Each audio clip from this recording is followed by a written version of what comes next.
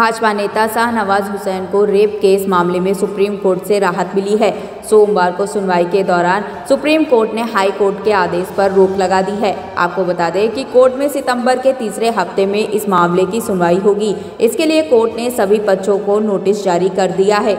आपको बता दें कि दिल्ली हाईकोर्ट ने 2018 के एक मामले में दिल्ली पुलिस को एफआईआर दर्ज करने तीन महीने में जाँच पूरी करने का आदेश दिया था।